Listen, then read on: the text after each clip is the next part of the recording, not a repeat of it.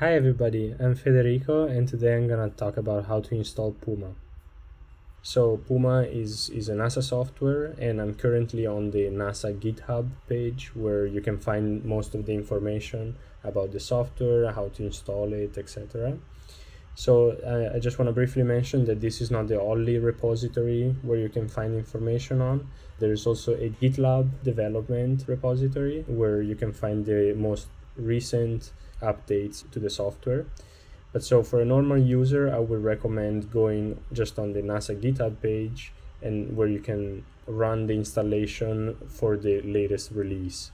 So for Puma, we rely heavily on Conda packages and Anaconda is basically a packaging system that allows you to distribute software easily and this is not only applicable to Python packages but uh, it's also for for hybrid softwares like Puma for example it's it, uh, it has both a component that is uh, written in C++ and the other component the the most recent addition uh, is PumaPy which is written in Python. So uh, if you run if we run this uh, command conda create um, this is gonna basically create a, a, conda environment. And in this in this case I'm, I'm just gonna call it puma tutorial for the conda environment. And then on the right we have the software name which is pulled from a conda channel called conda forge so basically anaconda works by channels where um, which are basically repositories of software which have been packaged up in different ways. And Conda Forge is the community. Um, it's one of the biggest channels on Anaconda Cloud, and it's a big community. So we have gone through the whole process of approval for Conda Forge, and Puma is currently on their channel. So this is going through the installation of all the dependencies of Puma inside the Conda environment that we've created. And it's basically checking that everything can be installed on your specific system. Once this is completed, uh, we'll, uh, as it has just finished, uh, we're going to be able to Conda activate the environment. And as you can see on the left hand side of, uh, of my name, this has popped up as, as the uh, environment that is currently active. And so if we now run, for example, Python and we import PumaPy, uh, the very first time that you run this command, it's gonna take a few seconds to compile and install some of the Python code.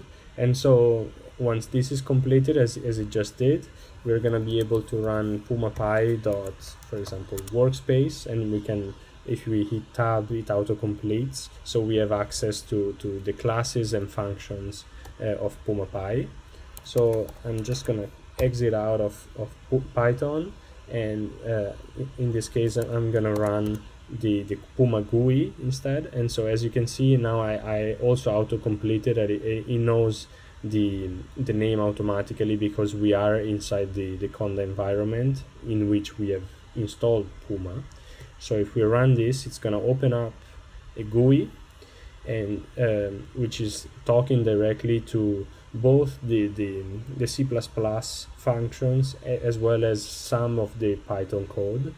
And so uh, just to give you an example, and I'm gonna go through more in detail later about this these capabilities, I've just created a, a fiber domain, which is um, 100 cubed, and now I'm gonna render it using the 3D render function.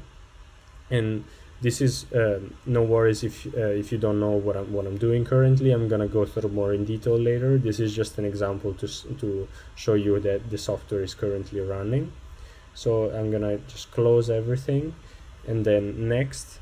I'm gonna talk about a couple of more ways of installing Puma. So the one that you've just seen uh, to create both an environment and installing that environment Puma is the recommended way through the conda command. Another way that we have also packaged up Puma is using pip. So pip is basically the, another packaging system that only works for uh, Python packages. So by running pip install PumaPy, uh, it's gonna basically install uh, only the, the left hand side of this uh, diagram for the uh, software architecture, which is basically only the Python package. And so as a side note, These two commands run different things on Unix, so both Linux and Mac. So the first one installs everything, uh, every component of Puma, both the C++ GUI and the, the Python package. And whereas pip install PumaPy only installs the Python package. On Windows, it works slightly differently, and so both uh, commands um, only install the Python package. So for the purpose of this tutorial, I, I would I want to also introduce how uh, somebody that would like to modify the, the source code would go about and do that. So basically, um, what I recommend, so for a normal user, I recommend using the conda command that I've just gone through. So for somebody that would like to make changes to the source code or uh, in general have access to the source code, my recommendation is to go on the Puma Dev GitLab repository and git cloning, basically copying the URL that is in here.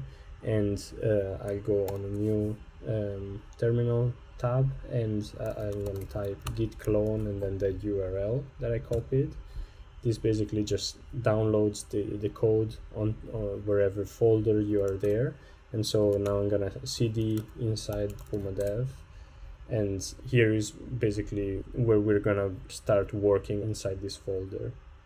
So I'm not gonna go into the details of the source code in this video tutorial because I'm gonna cover this in the next section but what I wanted to reference is if you go inside the readme there are three different uh, links that you can follow and references. The one of the most important ones is the first one called docs.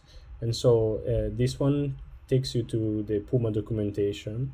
So we spent quite a lot of effort into documenting uh, every single function inside Puma very thoroughly for Python and a little less for C++.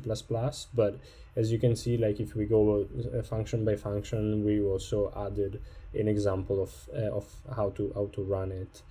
And so uh, the other two links that are here uh, take you to both the, the two packaging systems that I that I mentioned earlier for Anaconda Cloud. Here it gives you basically another conda install command that you can run. Although I recommend using the one that I added to the README, which also creates an encapsulated environment. And the, the other one is here for PumaPy on PyPI. So um, a last note that I wanted to mention is that as you can see from from these uh, links as well as on the github um, we have the, different versions for for puma uh, basically are um, in under this releases section. So um, if I click on here I, I just wanted to show you we are currently on version 3.0 which is the one that that has been approved for being open source. And so since it was released um, if in August um, we have already released, uh, made a few other releases. Um, we're currently at 3.1.6, and so every time that we have, we have uh, made a a big enough change that warranted a new release, we basically just bump the version, and all the packages get automatically uh, rebuilt on both PyPI and Anaconda Cloud.